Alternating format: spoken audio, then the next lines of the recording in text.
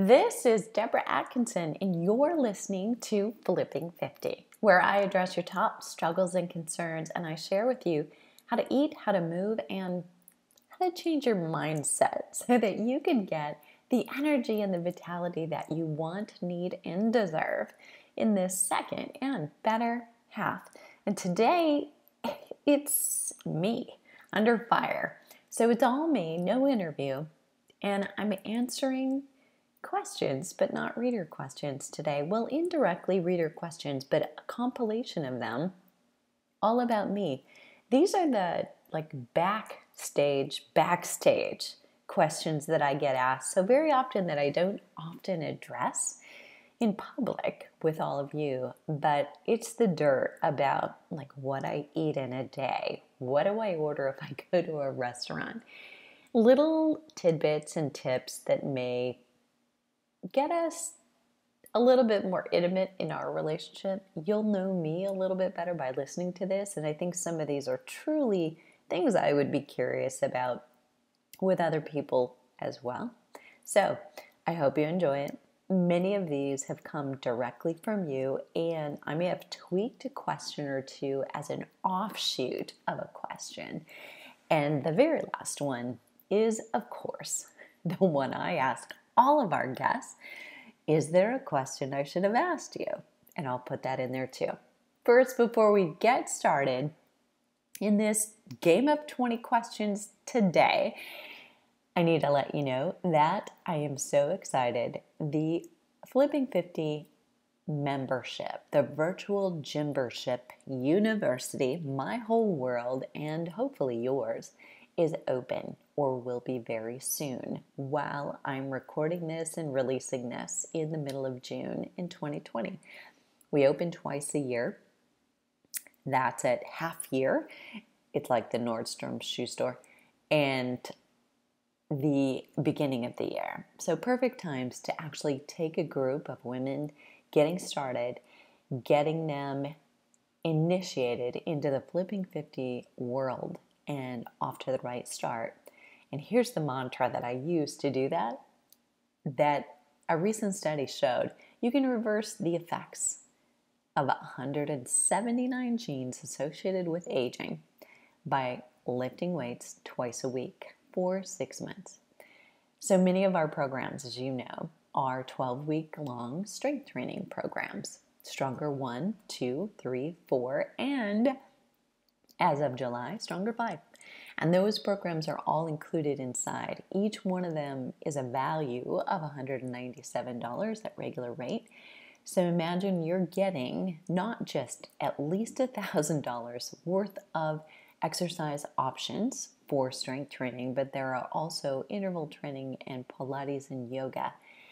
Ways you can exercise to solve problems you have, whether it's weight loss, cellulite, energy, your joints hurt even though you want to work hard.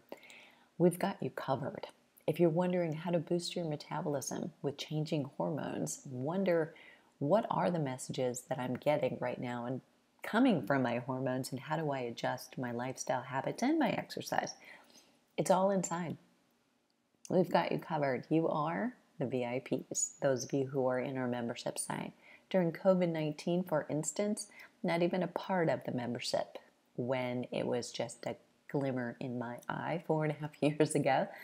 But I've been doing live workouts, intervals, getting in with slower, lower intensity workouts as well, just to connect and our members from wherever they are in the world will tell me that those live workouts have helped keep them connected and motivated during this time when it's so easy to get distracted by other things. And whether you join us live or not, it's nice to know that somebody in your team in camp was live today, and so probably you should be too. So I'm going to put the link in the show notes, but you've got to be quick you either want to get on the list if the doors aren't quite open yet, so you get the first notification and you don't miss it, because once the doors are closed, they're closed. And we've got to stick to our word. Secondly, I want to let you know if you're listening and you're a fitness professional or a health coach, I've got you covered too. the Flipping 50 fitness specialist is hot and not bothered right now. In June and July, we're definitely promoting launching because come fall, things will settle in. We may be in this moment we're in, more people at home, more people choosing to exercise at home, but they all want help, especially women in midlife.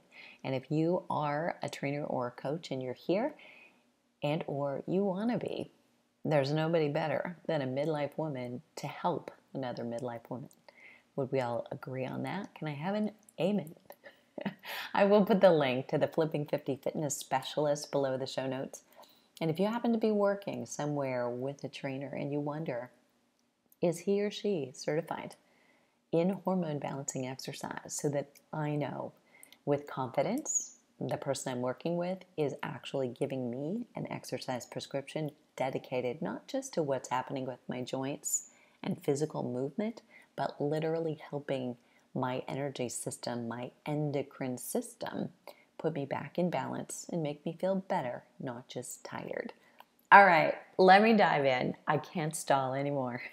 So I'm going to start with this one. And actually, two of these questions come from my son's girlfriend. So, number one, I hear this from a lot of people, others included, not just her, but what do you eat in a day?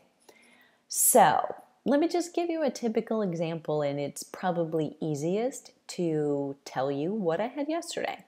So, first of all, um, I'm working a little bit more on my intermittent fasting window. So, pushing breakfast a little bit later.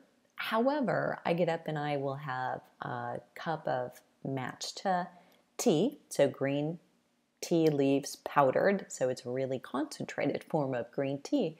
I will have a couple mugs of that, let's be totally honest. And that already will help you, um, that breaks your fast, right? So it's already a little something. So if I have it clear just with oil, then I'm not breaking a fast. But I have it with coconut cream and that helps me continue not the fast, but I'm still in fat burning because I haven't had carbohydrates. So I will do that early, and I'm often up by 4:30, 5 o'clock in the summertime easily because if the sun's up or almost, I want to be. So I'll do that, but I'll work for a few hours and be so distracted that I'm not hungry. And the first time that I eat before I'm going to exercise, it is probably something like sunflower seeds, pumpkin seeds, uh, raw cashews. So it's something higher in fat, especially right now. While I'm in COVID 19, I'm not doing a lot of long endurance training. I don't need carbohydrates. I'm doing slow walking. So if you want to burn more fat, you're going to eat fat because that's all it is. And I'm only eating because I'm hungry and I'd be distracted or have lower energy output if I didn't eat. So that's how I start. When I come back, I'll wait about an hour, somewhere between an hour and an hour and a half, so that I have better muscle protein synthesis, and I'll have a smoothie. Generally, that's a you know, got some fruit in it, definitely got some kind of greens, kale, spinach. It's a super blend. Um, I'll sometimes put cucumber in it, um, sometimes avocado. I will add um, nuts or seeds to it. Uh, turmeric and ginger right now are super popular. I want to decrease inflammation, boost my immune system. So do you. I'm putting protein and fiber in it. So I'm full for hours after that and uh, feeding my muscles so that I can hold on to that lean muscle mass. And then it's a lot of water in between those meals and while I'm walking, lots of water. And then dinner, I have in the earlier side. So I'm usually trying to eat or prep it if I'm available by about five. And, um, you know, it'll be based around some kind of protein. So it might be scallops, it might be salmon, it might be, I love Mexican flavors, so I might make some kind of a taco meat with bison. Sometimes I'll use beef, but I really like bison. Even venison um, is another option. So it's um, wild or elk is another option that I'll use. I'll make cod um, in several different ways because cod is so mild it'll take on flavors of other things and tons of vegetables. So depending on what I have it with, it's generally not a salad. You know, I'm not.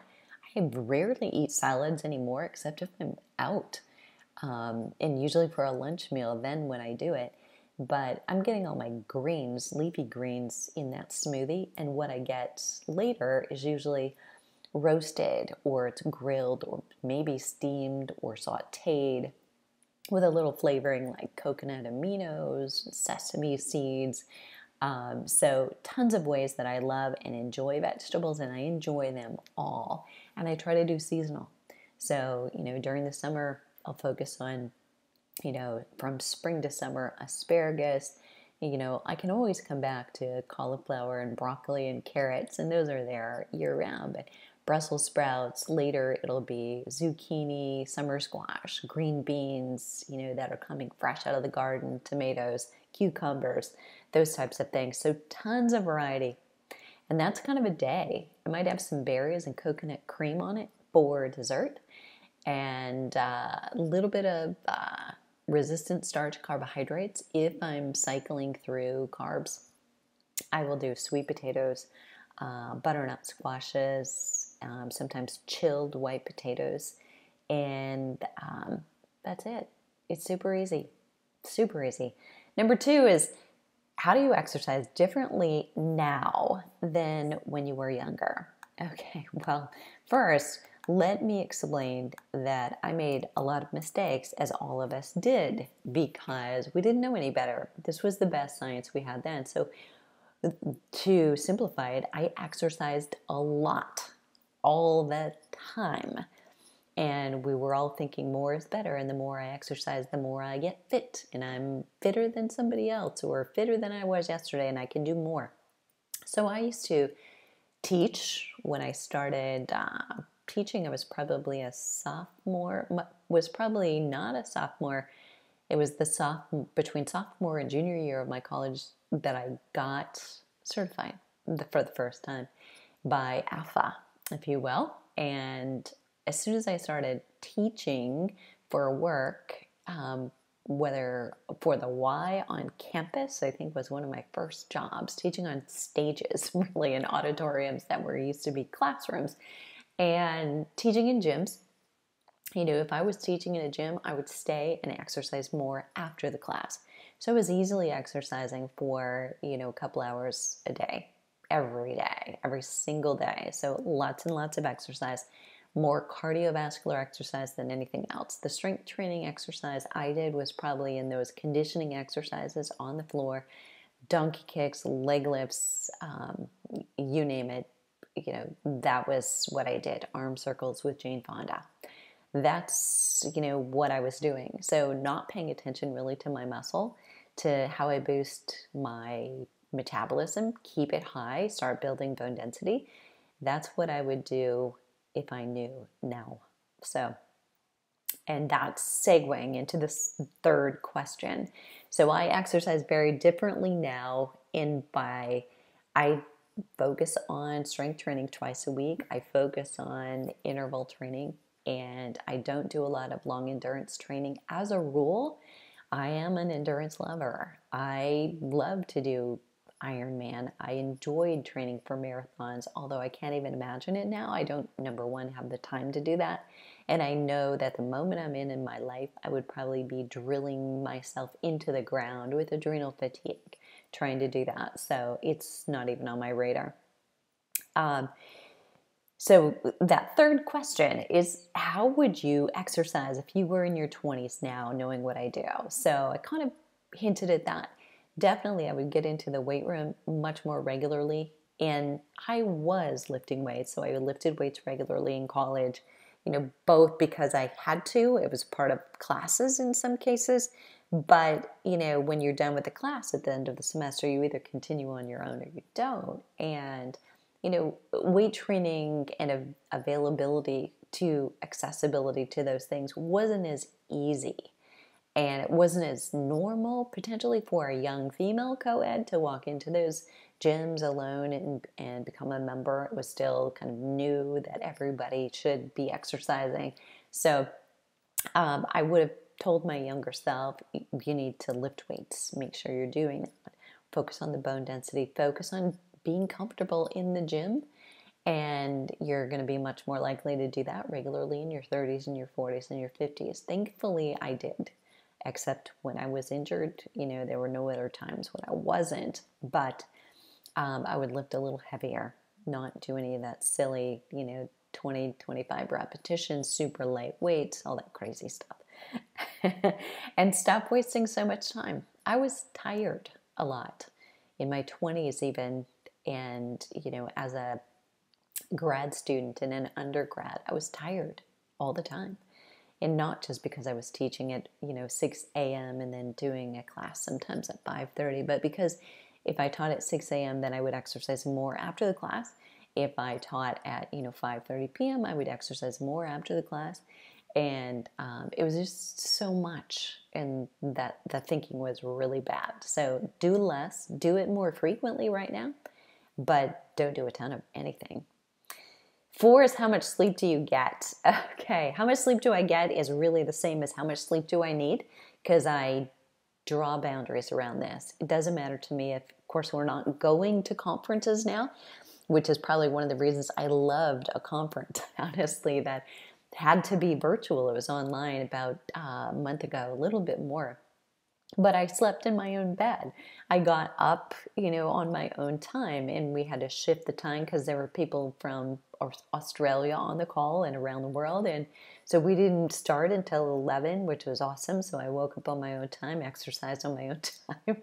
And, you know, then I also didn't necessarily have to feel like I needed to go to the party at night. And I'm such an introvert. It's not that I don't love the people, but, um, you know, I'm such an introvert, and I once I've spent the day with somebody, I kind of need to recharge my batteries. And it's good that you know that about yourself as much as I love working with groups of people, being on stage, motivating people, teaching in classrooms, and I always will, the balance for me has to be the opposite lots of quiet time.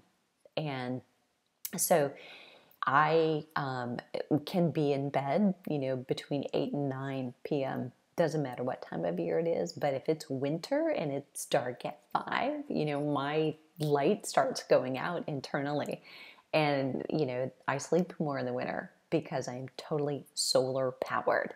So, you know, if we talk and we're talking, you know, I'm in bed by eight, I might wake up by four, four thirty. It's only like eight and a half hours of sleep. So it's not a ton because I go, you know, so early and get up so early. But that's where I do best. Um, my wake up time is typically the same though. I don't sleep in. So if I am up, I'm having to travel and uh, wasn't put in charge of the schedule, you know, then I, if I'm up until 10, I'm still going to be up at 4, 4.30. So that's where I get sleep deprivation if I do. Number five is, do I drink alcohol? I can't remember who asked me this question. But, you know, it's not that I don't. Um, so I'll have a glass of wine sometimes at a party. I will have a margarita sometimes.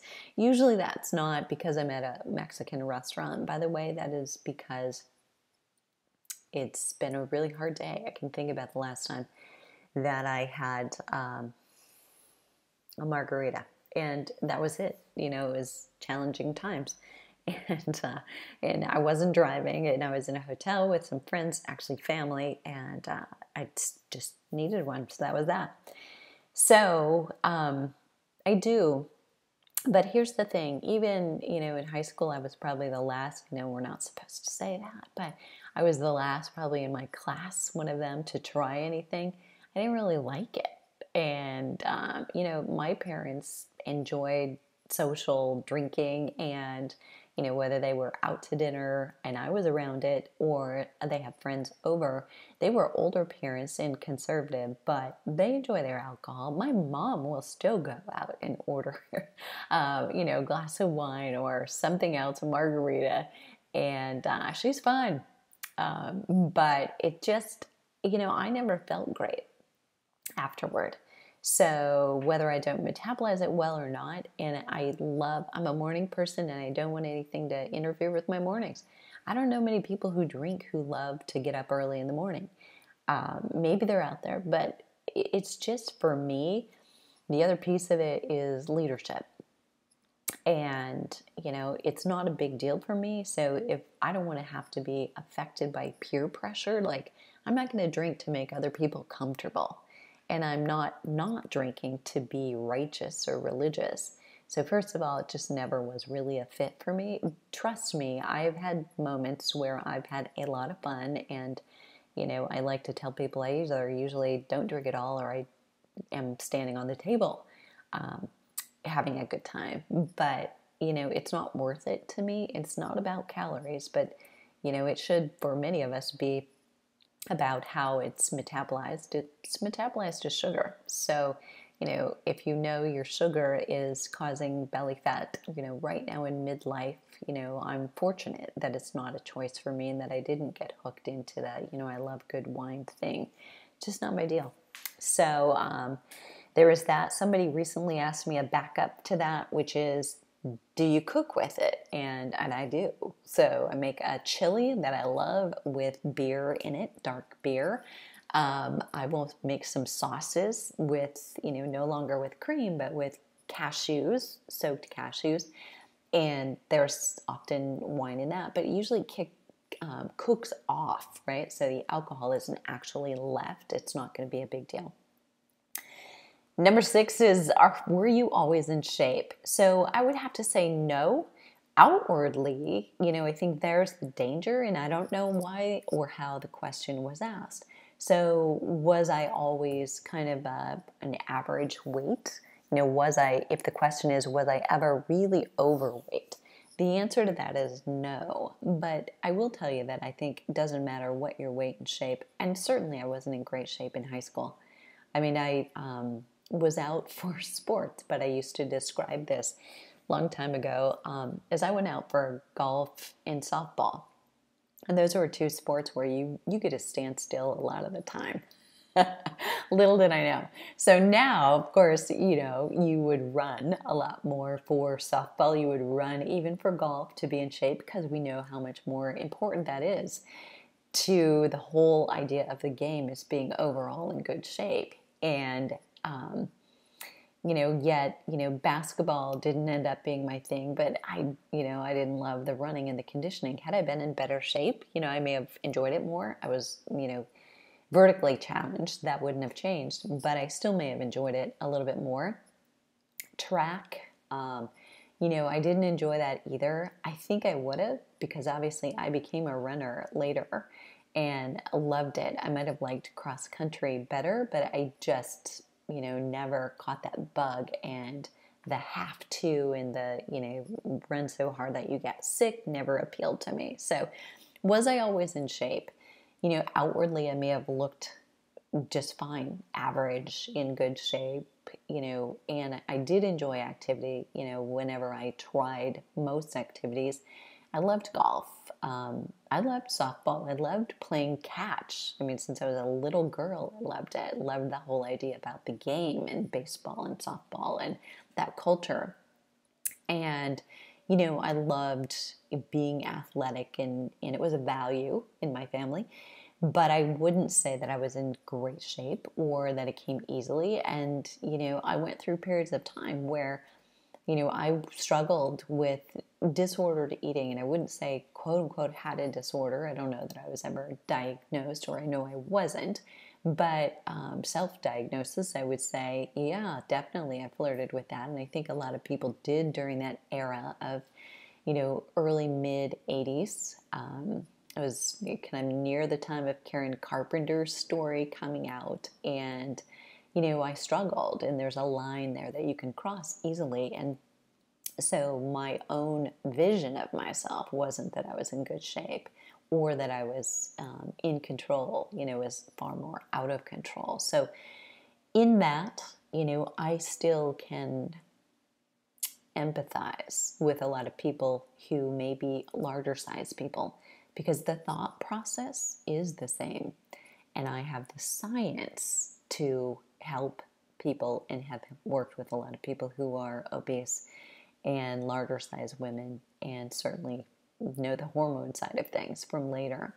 Number seven, you run a business, travel a lot, and make tons of videos. So, like us, you've got stress and you're always so positive. Ah, how do you do that? Well, you know, I've thought about that a little bit lately. Um, some a good friend complimented me on that recently, and of course, it was probably three days before my mood tanked because I was feeling like the world is conspiring against me. Technology is not my friend. Um, you know, I just lots of things, the wheels were coming off the bus. And so I wasn't feeling very positive. But for the most part, I am blessed, I guess, with being optimistic. I do, for whatever reasons, you know, even though right now a lot of things are, you know, not the way I'd like them to be. You know, whether whether you're talking, you know, where you live right now and want it to live, your your business, your finances, the future uh, and certainty versus uncertainty, relationships. I mean, all of that. I still feel that there's some kind of a master plan and that it will all be all right. Things will work out. And I don't know why I feel that way, but I do. And so I capitalize on that. And I think knowing I, you should know, I majored as a grad student in exercise psychology. And so I've been observing, you know, all those strategies, techniques that we can use to apply to somebody, whether they're in sport or exercise, for operating and performing at their best. And one of those is placebo. And in the last five years or so, placebo effect has gotten so much more press. And I truly believe that you have to first believe it.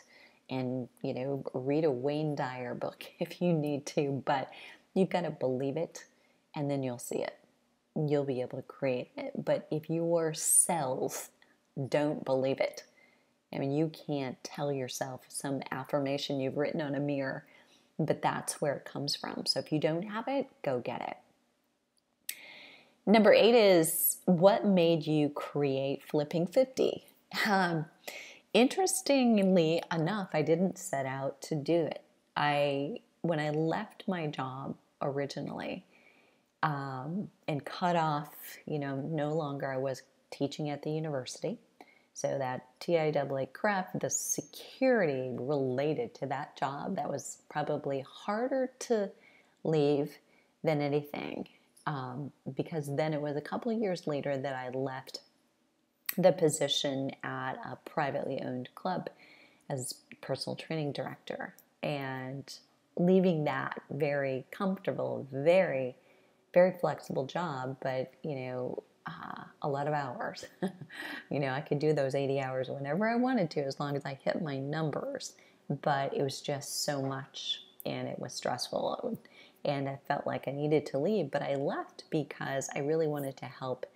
The bigger mission of Flipping 50, whether you know this or not, is to up level the quality of trainers in the fitness industry and to make sure we keep the good ones because the good ones love the science about how to exercise, but they're terrible at marketing themselves and and selling. And while I'm I'm talking right now to to you who are the consumer, you know, I think this is um, a conversation that's worth having. But we have to sell in order for you to get fit. You have to buy what we offer free programs really don't work. You've got to get some skin in the game, quote unquote, in order to invest in yourself time and energy. And so I believe that we need to give good, high quality trainers the skills to market themselves and to sell. To sell something to someone who they know they can help, something of quality. Because there are a lot of people out there selling things that are not for you and not of quality.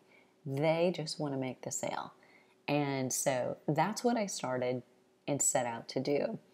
and realized that if I want to have that conversation with trainers and health coaches and help them really get started and stay with it, that I needed to be still training in some way. I needed to still be doing it. So I narrowed my focus on the market that I had been most working with or working with the most since I was 22.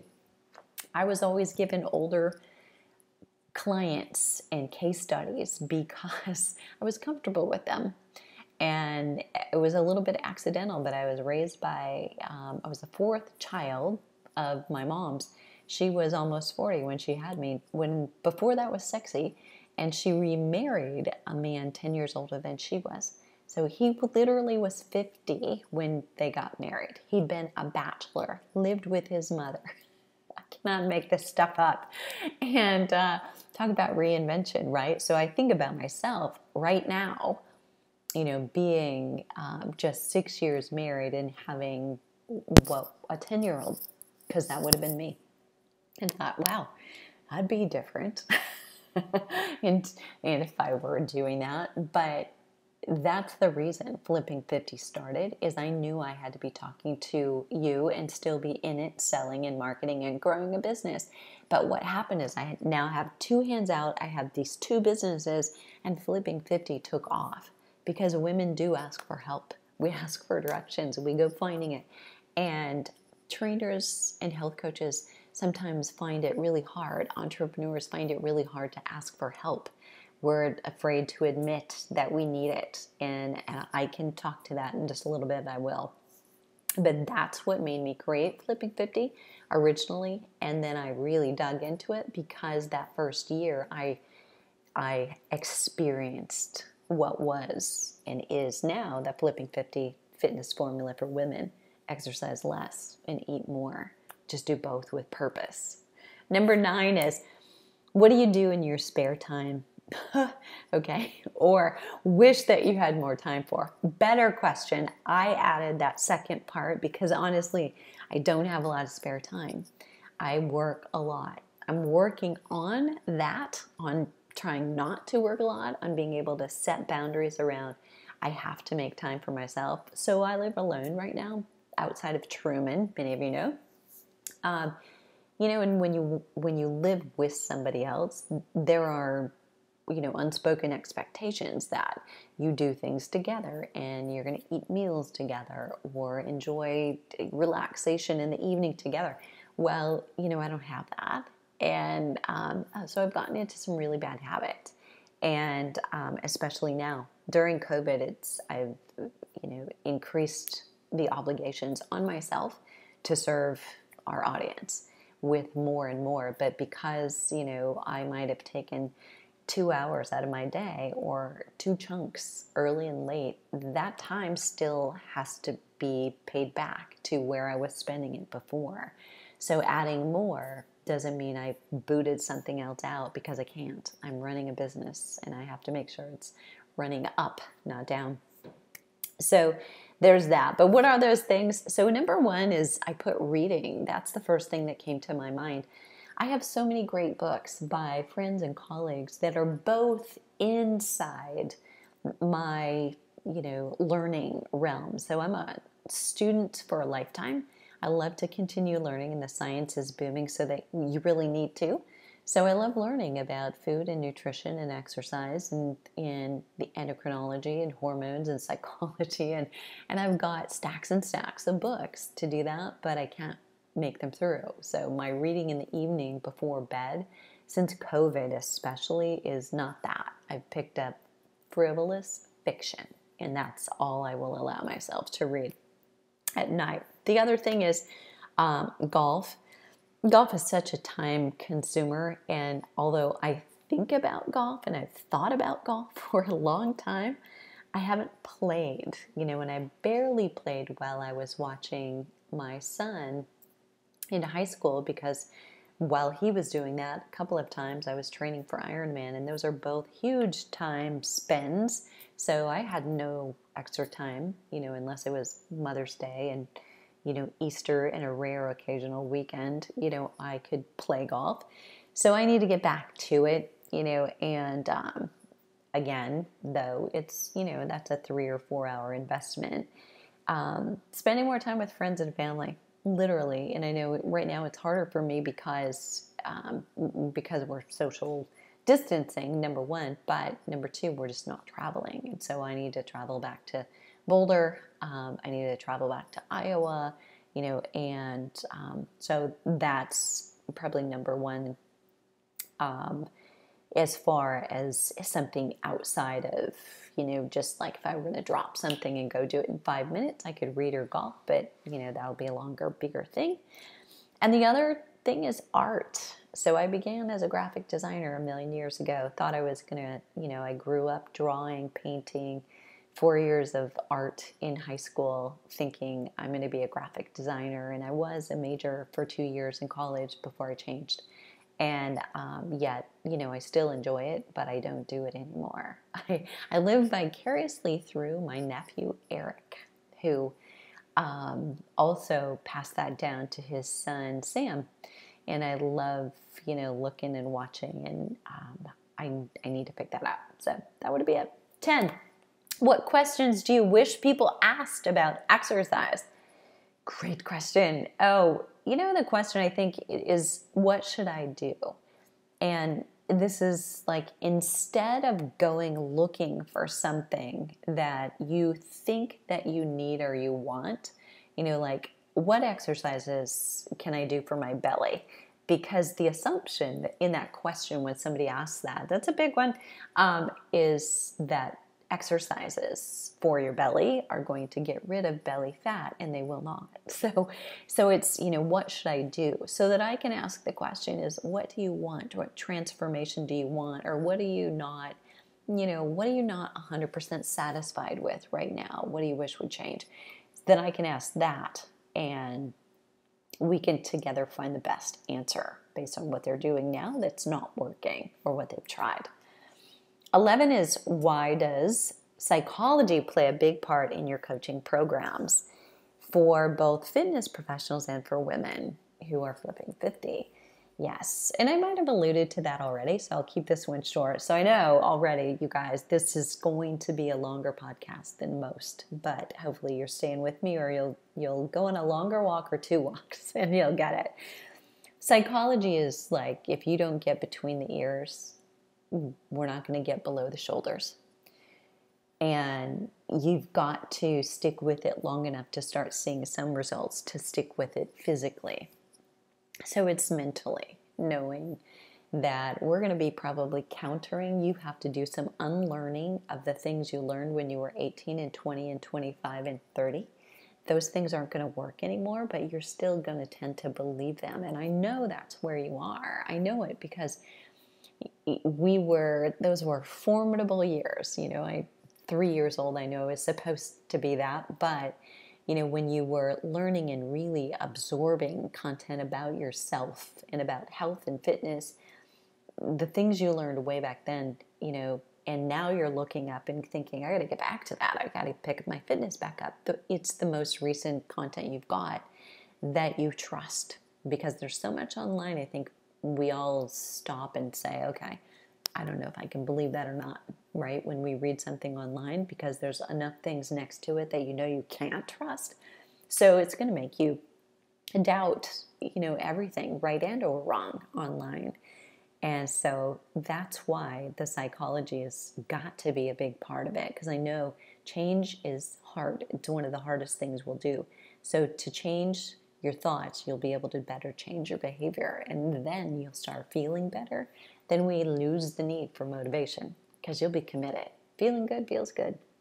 12 is what words describe your most important values that you have, aside from fitness and health, of course, which is, of course, right? So you'll see fitness and health everywhere in my life, all day, every day.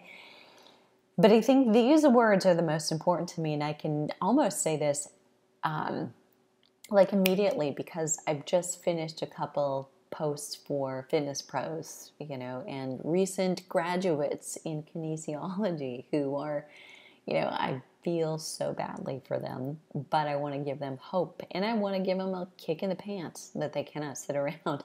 So it's number one, authenticity I mean, being real, and she's please, you see me. I'm showing my roots. I mean, literally, the roots of my hair. I'm showing my roots online some days. I'm showing myself in the morning, no makeup, drinking coffee or tea. So I'm literally showing you what my life is like.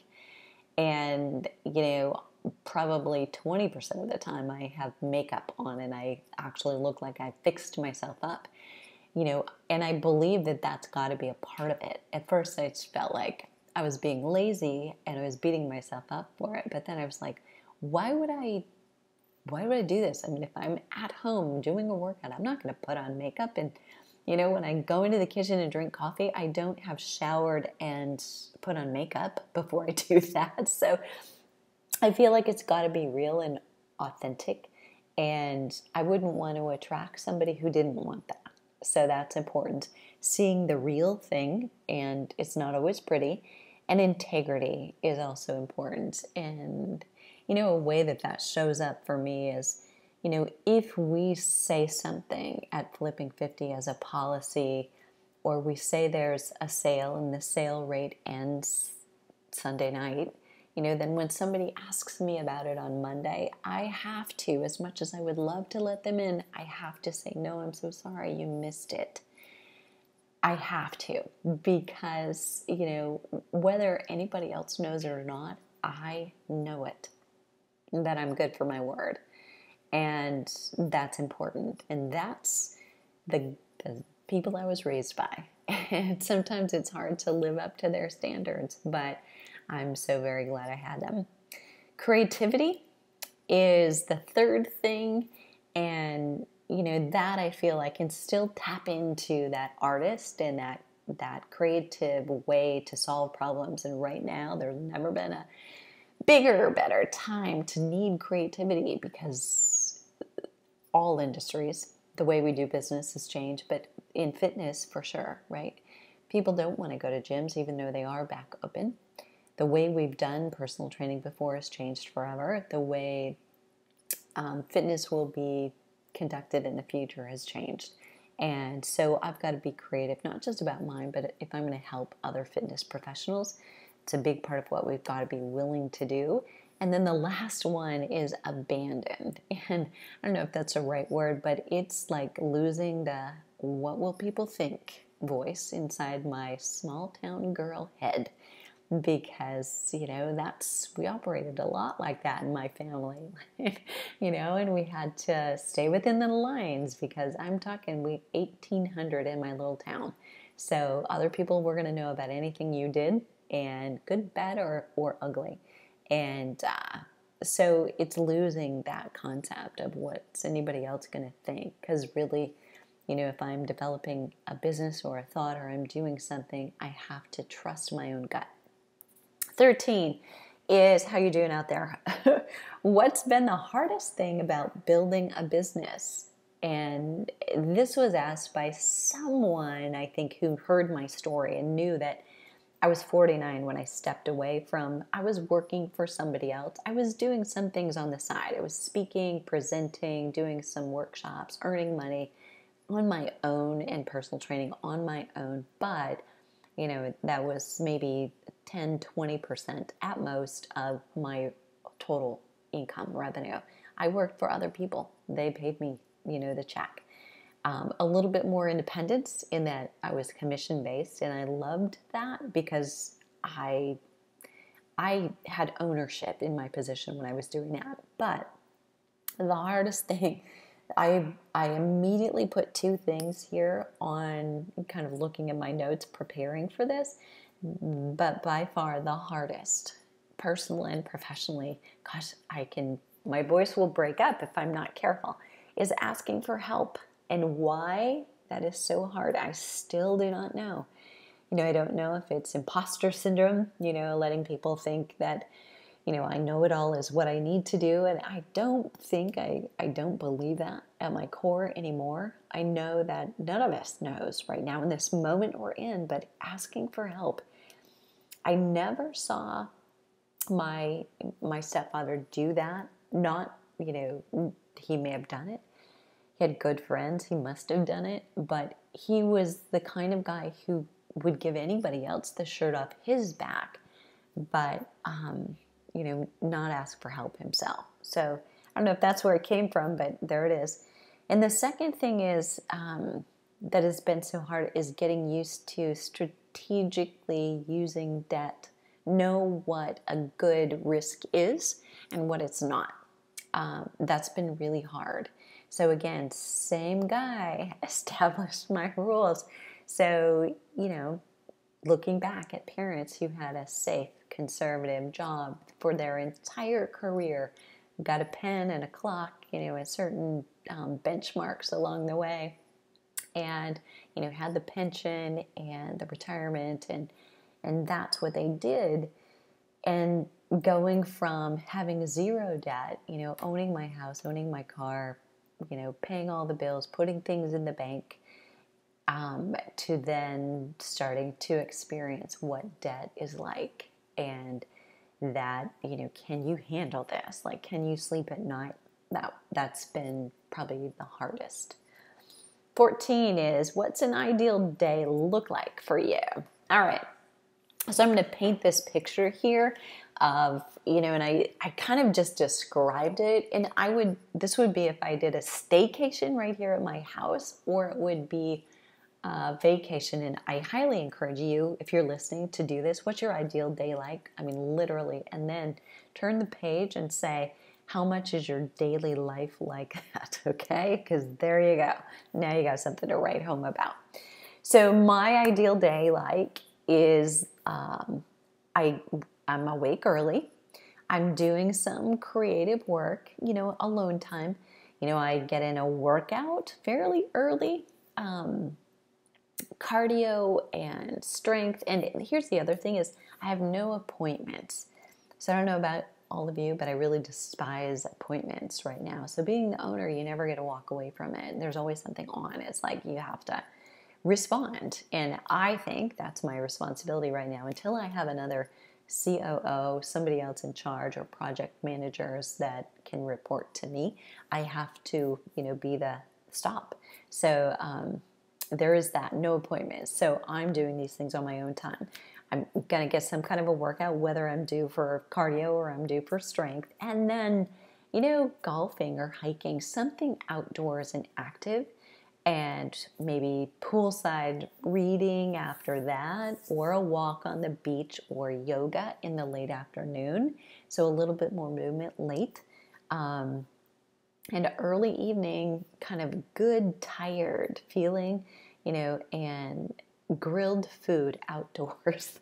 I, I think number one, grilled food always tastes better. Food cooked outdoors always tastes better. It doesn't matter if I'm doing it here at home. And actually, I really enjoy, you know, the maybe it's the control, but eating healthier is easier at home. That's my opinion. You know, and it's not that I don't love to go out, but I am very particular about where I want to go out and you know farm to table kind of places or places like True Food Kitchens. Those are some of my faves. Um, I like to be. Last detail here: a place that taking a deep breath feels so cleansing. So that probably for me is the mountains or the beach, and um, either one of those. So I haven't yet been to Sedona. Notice I didn't say the desert, and I live in Scottsdale. So um, I didn't anticipate being here forever. so we'll see what happens after this. Um, but I definitely like to explore southern Utah more. Um, it was a beautiful drive from Boulder, Colorado to Scottsdale, and uh, I my mouth was open the whole way. It was awe and beauty. So I'd like to go look at that, and then who knows. Number 15 is you're ordering off a menu when you're out. What do you order? and, uh-huh, interesting. And if I splurge, what do I do? That's the next question. 15 and 16. Okay, so definitely something seafood or fish usually is what I'll order. Um, and then I often will double the vegetables, or if I'm ordering like a a main entree that comes with vegetables, I'll say, can you double that, but don't give me the bread or don't bring the white potatoes. Can you skip that? Give me twice as much um, sauteed vegetables or whatever. or I'll order another side of vegetables. So tons and tons of vegetables and some kind of fish or seafood usually. Salmon, scallops, shrimp, those are my faves. Um, although crab, uh, lobster, I would eat. Okay, my splurge, if I'm going to do it, would be sushi. And, you know, white rice, really not on my list anymore. Um, and some of the sauces, you know, are probably going to have gluten and soy in them. I don't really do that either, but it's definitely worth it occasionally. It's most fun with my son or, you know, friends and family when you have a big table. So, no, do I at the grocery store buy sushi in a box? No. um, you know, I do like sashimi, which is just the raw fish, so I can, you know, leave the sauce and the white rice. But again, I'm not going to do that myself. And I just, I enjoy the few, there's a few rolls I really love. Green River is a favorite. Sometimes it's not on the menu, but you can usually ask for it. And then real splurge, maybe a few bites of the Great Wall of China cake at PF Chang's. And that's so much more about um, memory or memories with either friends or with my son. But seriously, it's addicting, and a few bites of that will put you, put me in a coma. 17 is what I won't, what I don't do anymore that I used to. This, in regard again to it's eating out, um, there's almost nothing at a Mexican restaurant that I want to order. Um, so between the marinades, you know, like marinating chicken that might be in a taco salad, for instance, or um, the flour tortillas, the, the corn tortillas, the cheese, the corn chips, I, don't feel very good after any of that. So honestly, the last time I did it was about a year ago, almost exactly, in fact, the day after I'd moved here. So I drove here on a Monday. Tuesday, my brother in law showed up early enough, too early, so early, that with the, the moving van, we had all kinds of time, and the guys to move it in weren't coming till Wednesday. And just to be safe with, and he's like, you know, well, we could sit out at the pool and drink beer, or do you want to unload? And so I was like, okay, let's unload. So we did it in 100 degrees. We unloaded that whole thing. We barely stopped to eat. So by four o'clock, I mean, we were both sweaty and hungry. And so we went out for, I don't know, late lunch, early dinner, whatever that was. And um, he said, Where do you want to go? And I, I don't know, somewhere close because I don't have a lot of time. I had to do a class actually that night. And so we stopped at a Mexican restaurant. And the next morning, I my gut told me, Don't do that again, ever, ever again. so, and I'd had a taco salad and one of those flour tortillas. I enjoyed it at the moment, but, and, and honestly, I didn't love it. It wasn't as good as I anticipated, you know, having not had it for quite a while. So there you go. And the other thing, I don't do Chinese food anymore either.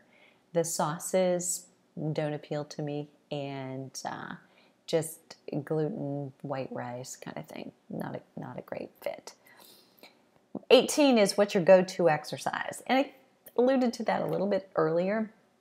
I snuck it in, but it's 20 minutes, say, of interval training a couple times a week, whether I'm on a bike doing it or it's uh, just sprints intervals or I'm doing it with our Flipping 50 virtual membership, um, just live on Friday and Monday mornings right now. That's a go to. So that's a real boost in fat burning and visceral fat. That's the belly fat. And lately during COVID, oh, oh, sorry, and two times a week strength training. I mean, that's just not compromisable. That's not going anywhere. So I absolutely will do that. We're not going to retain our lean muscle mass and keep a metabolism without it. So if something had to go, it would probably be the interval training, but the strength training would stay.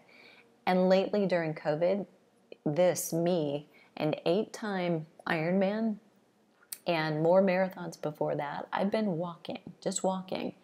It's been for me a break from the news, the stress, uh, social media, additional service that I've added to support community members. It's just my time, you know, and I've, it's been a lot to juggle. people talk about extra time in watching Netflix, you know, during this time. I don't know if anybody really has experienced that, but I know my life has certainly not become slower, not at all. If anything, I'm busier. So, um, time efficient exercise and keeping it simple exercise is key. 19 is what I've done during COVID that I wasn't doing before. I've definitely done more immune boosting uh, supplements. So I've dialed up my vitamin C tremendously. I was already taking a significant amount of vitamin D. You know, and um, it's easy to slack off on certain micronutrients. So I don't know if I um, have been as diligent about that, but I've been just religious about it. I've also um, magnesium and melatonin like a boss. Um, I've not, I don't think I've missed any any nights since it started. Just for the help and the support, getting to sleep and staying to sleep. So um, I've never colored my own hair before COVID. I did that. Uh, I organized my closet by type of clothing, like here's the shirts, the pants, the jackets, and then by color. And I did that because some of you may remember if you follow on Facebook, a friend of mine who owns a clothing store that's doing a really creative way of of business. She does auctions online. So I mean literally if you're missing shopping and don't feel like you want to go into stores, you can shop online. If you love Southwest clothing, oh my gosh, you got to go. It's Stone Feather Road, and I'll put that in the show notes. Um, but it was her who she came on a Facebook Live with me and talked about how to style for yourself and how to get organized and see what you really have. And um, it's just helped. It's helped my sense of organization kind of get cobwebs out of your head when you do that. And I've also been collaborating more, just reaching out more to experts um, in my network and others and doing more with them more Facebook Lives, more podcasts, more just sharing content and talking about how is it going. Okay, and last but not least, here's the big one. What's the one question we should have asked you? That's the question that I ask every guest on the end of a podcast. So it's only fair that I would have to answer this. And um, I had a client, um, gosh, it may have been a year ago, maybe, or more. If she happens to be listening, I know you're out there. This is for you because I think you asked me that when I had you on a guest as a guest. So the question is what's been the most important message of 2019 and 2020 for you? And I say 2019 for me because all of us are experiencing a unique world, shall we say, in 2020. But my 2019 was really not a good year. Started with mold exposure, a move I didn't want to make. I loved where I lived, um, both in Boulder and in the mountains, and uh, didn't want to go. But I did, and uh, it was kind of a quick change, and it needed to be because I needed to get out of my lease while it was up. And it wasn't necessarily the best of circumstances, shall we say that. So that was very stressful. I was training for an Ironman at that time, and it certainly wasn't the year that I had imagined it to be.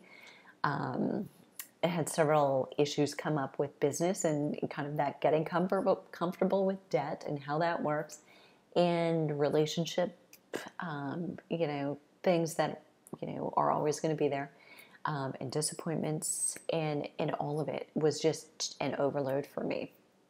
So that's the backstory to why the question. But the most important message, I think, has been forgiveness. It's been a message that I've got to observe forgiveness. So that that is about me and not anybody else. So forgiving somebody else or or forgiving myself for the past and the present and the future. Just why not?